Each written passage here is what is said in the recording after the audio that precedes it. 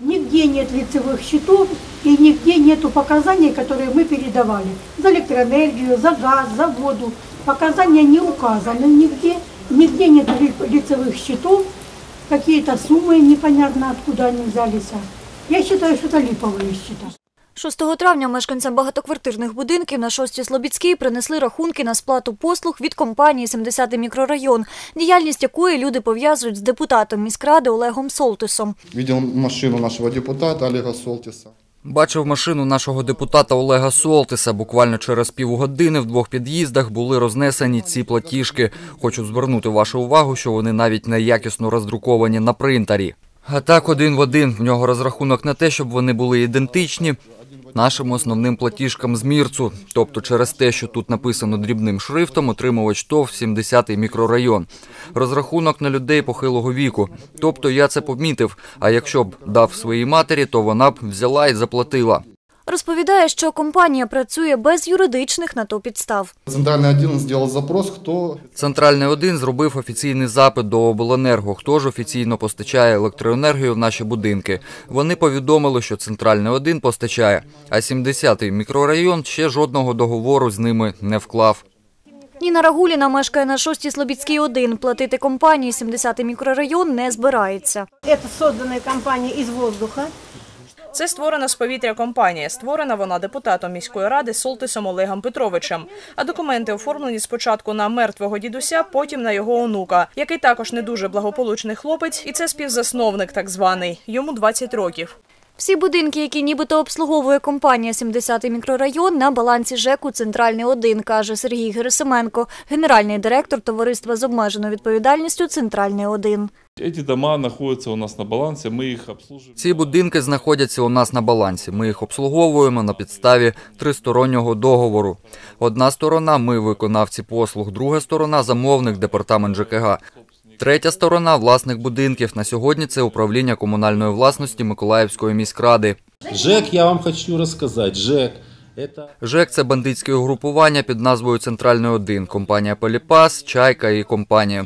Протягом багатьох років ЖЕК Центральний 1 для будинків нічого не зробив. Ніколи. В кращому випадку банка фарби, кілограм вапна. У нас на сьогодні всі документи оформлені в законному порядку. Крапка. Ні один документ у нас не протиречить діючому законодавству. Крапка. На відміну від центрального 1. На сегодняшний день На сьогодні договори на електропостачання на роботу ліфтів до 1 травня, на вивіз ТПВ з 1 травня це йде з тарифу, на перевірку димоканалів. Всі договори мої, я їх проплачую. І є компанія 70-й мікрорайон, яка одягнула двірників, які після того, як мої приберуть, приходять там годинку, позиціонують себе як управляюча компанія для цих будинків. э, хозяева центральный один. Наверное, занесли какую-то... Керівництво Центральний 1 занесло якийсь, напевно, хабар, вибачте, по-іншому назвати не можу. Заплатили, напевно, комусь, щоб департамент ЖКГ підписав незаконний договір на продовження цього. Сергій Герасименко каже, обслуговуватимуть будинки щонайменше до жовтня 2019 року. Розповідає про численні звернення до правоохоронних органів. от Национальной полиции Украины. Вот Центральный відділ. От смотрите, повідомляю вам, що ваше звернення зареєстровано в журналі ТТТТ. В матеріалі відсутні дані, які б вказували на наявність кримінального правопорушення та неможливість в зв'язку з цим зареєструвати відповідну інформацію до ЄРДР.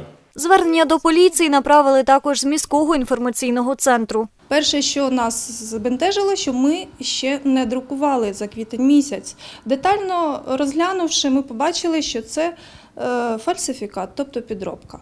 Е, у представленому рахунку відсутні е, основні критерії для сплати для здійснення платежу абонентами, а саме особові рахунки, тобто номери договорів з підприємствами.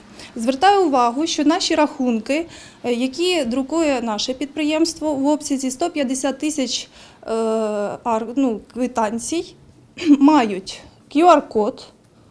QR-код і єдиний особовий рахунок, тобто унікальну адресу квартири. На представлених рахунках, на жаль, такої інформації чи на щастя такої інформації немає, що підтверджує здогадки, що це підробка. Поліцією заява зареєстрована коментуватимуть після того, як в єдиному реєстрі досудових розслідувань з'явиться кваліфікація справи. Катерина Балєєва, Ігор Чорний, телевізійні новини Миколаївщини.